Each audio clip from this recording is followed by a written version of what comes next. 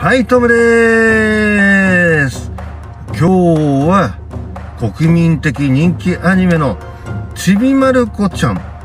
ちびまる子ちゃんの中でもちびまる子ちゃんのお父さんのひろしについてお話ししたいと思いますね。その前に僕ね、日々たくさんの雑学やたくさんの投稿の方してますのでね、そのたくさんに生まれる前に保存ボタンの方をよろしくお願いしますね。それが僕の応援につながるからね。実は、まるちゃんのお父さんのひろしってさ、まあいつも家にいるようなさ、シーンばっかなんで、なんか無職のイメージがね、あの、あるみたいなんですよ。だけど、ね、まるちゃんのお父さんね、別に無職じゃないんですよ。